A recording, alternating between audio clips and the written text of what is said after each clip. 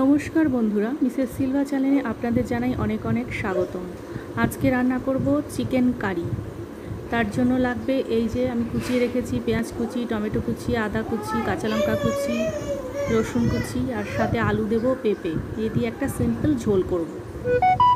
আর দেব এই মশলাগুলো।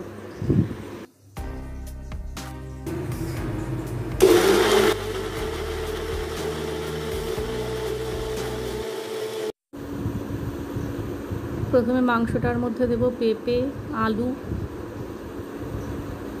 তারপর দেব পেঁয়াজ কুচো, টমেটো কুচানো, আর দেব পেস্ট, আদা রসুনের পেস্ট, এছাড়া গুঁড়ো মশলাগুলো, আর দেব একটু সর্ষের তেল। এই দিয়ে ভালো করে মাংসটাকে মেখে নেব।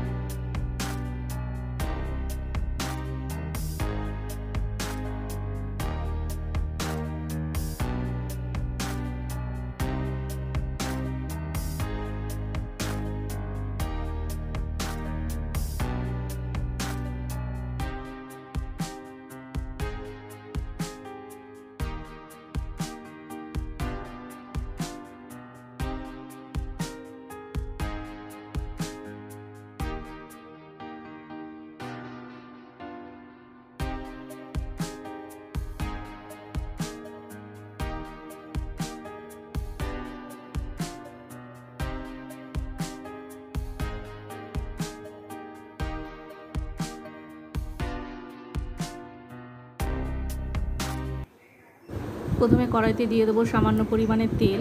তেলটা ভালোভাবে গরম হয়ে আসলে এবার দিয়ে দেবো দুটো এলাচ, দুটো লবঙ্গ, একটা দারুচিনি।